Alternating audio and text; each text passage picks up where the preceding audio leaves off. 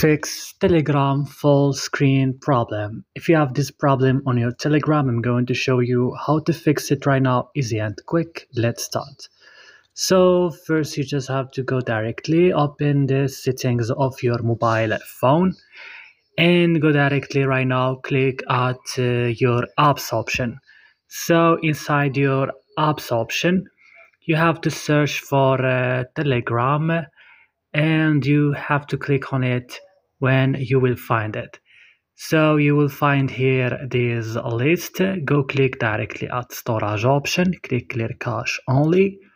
Back right now, click add force, stop now, click OK. Go to Play Store or App Store right now if you use iPhone and you have uh, to search for uh, uh, Telegram and when you will find telegram click on it and if you found update click update. And after this your problem will be solved. Just update it. And don't forget to restart your device. And that's all. Don't forget to like and subscribe. And